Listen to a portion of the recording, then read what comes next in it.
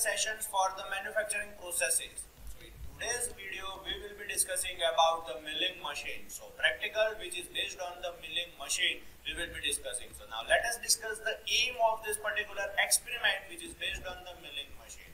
To generate the slots in the workpiece you all have know that whatever the gears which are there, the gears, the formation of the gears. So these are the gears in which we can produce this teeth on the gear. So this teeth on the gear they are basically produced with the help of this milling operation. We can generate these slots.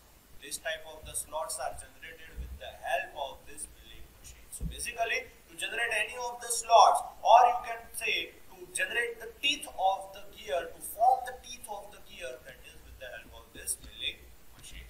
Now which are the apparatus which we require? The first one we require that is known as an horizontal milling machine. We will be taking for the horizontal vertical milling machines are also available. So this is the machine on which we are going to perform our experiment. This is the horizontal milling machine.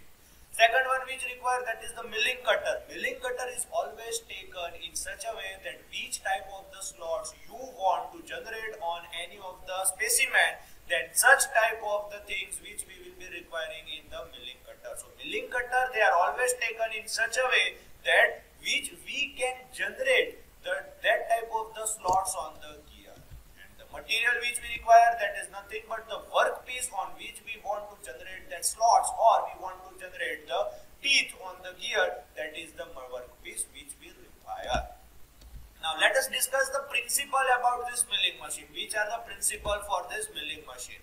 Metal removal which is taking place due to the cutting action of the cutter. Whatever the metal we are removing, by which way we are removing? We are removing in the form of the cutter. Cutter will move whenever it comes in the contact with your particular workpiece, it will remove the surface. Now, cutter is placed at a particular one place and it is allowed to rotate on its axis. So, primary motion is given of the cutter and whereas your workpiece, whatever the workpiece is there, it will be moving in this way and when it comes in contact with your cutter, what will happen? It will remove the. So, revolving cutter, it is held in the spindle or an arbor. So, whatever the cutter is there, it will be placed inside that particular thing. That is the it is placed on the spindle or the arbor and the machine tool on which the milling operation is performed that is known as a milling machine. Primary motion as i told you rotary motion of the cutter. And the secondary or the feed motion is given by the translatory motion of the workpiece so here it is the principle of your thing the cutter is moved and the cutter is moved on its axis and this table on which workpiece is kept it is moving. So you can see this thing it is removing this cutter is removing the material from the workpiece. Now let us discuss about the parts which are there in the milling machine. So you can see there is there will be a base which is located on which the whole milling machine is kept. On that thing there is a which is provided over here and on that column there is one overarm is there. On the column there is overarm and on that overarm this is yoke. Yoke is nothing but it is going to give, yoke will give the support to your arbor. Arbor is connected between the column and the yoke. Between the yoke and the column your arbor is there and on that arbor you can see over here the cutter is located. So this is the cutter on which it is. And there is one thing which is used that is known as a brace which is there for the balancing of the machine. Now workpiece is kept on the table and this table is moving with the help of the saddle. With the help of the saddle you can adjust the height with the help of that. So over here you can see the knee. This knee portion we can move with the help of this elevating screw. What will happen? This knee portion will come up and will go down and the saddle will help to move in this particular perpendicular direction. Knee in this direction, saddle in this way and whatever the table is there, it will give in the one way this up and down motion, translatory motion. So by adjusting, first what you have to do, you have to adjust the knee, after that adjust the saddle and then with the help of the rotating wheel, we will move the table and as a result of which the cutter cut the material, will remove the material from the sample and the cutting will take place and the milling operation is carried out. So now let us see the different parts on the actual milling machine and then we will be going for the different types or the practical of that particular thing. So we will be seeing first the different parts of the milling machine and then followed by the practical or the working how to generate the slots on that milling machine. Yeah. So now let us see the thing actual working of the milling machine and what are the different parts of the milling machines are. So starting with the first one, let us see over here, whenever a power cable is applied, the power is applied, these two levers are there. These two levers are used for the adjustment of the speed of the arbor. That means for the movement of the cutter, whatever the speed we require, it can be adjusted by these two levers. On off switch. By changing this on off switch, the machine will start working.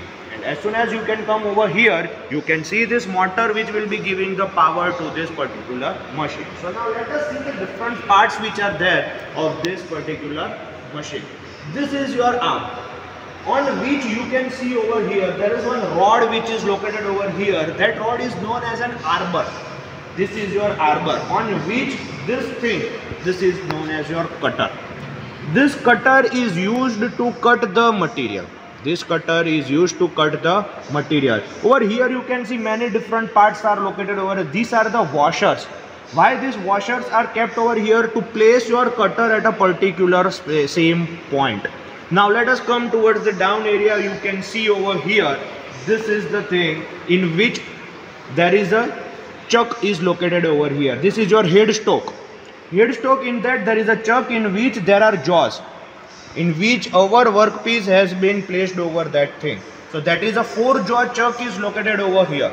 In that four jaw chuck, we are placing our sample over here. And this sample for proper gripping, we are placing different washers so that our gear will not move in any of the directions. And over here, there is a tail stock which is used to give the support so that the whole thing will aligned in only one line only. This is the stage which is used to move the whole portion, this whole thing, both the headstock and tailstock is laid over this particular part. And this part is allowed to move in forward and reverse direction with the help of this wheel. By movement of this wheel, what will happen? Your whole headstock and tailstock, the saddle will move in forward and backward direction. So this is the movement of that thing. Now comes the particularly indexing portion. This is the indexing plate.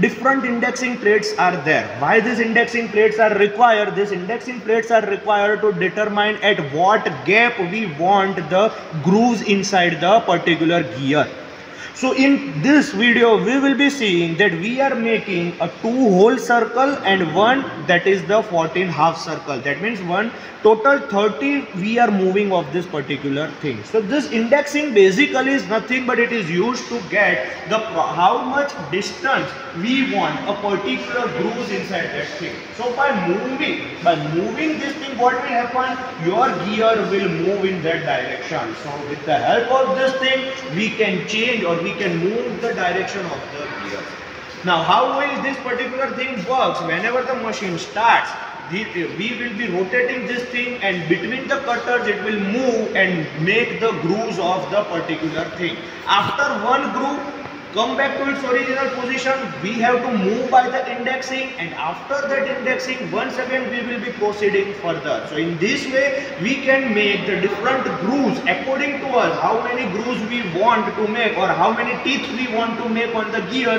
it can be adjusted by this indexing plate. And the gears are always performed and they are made by this milling machine.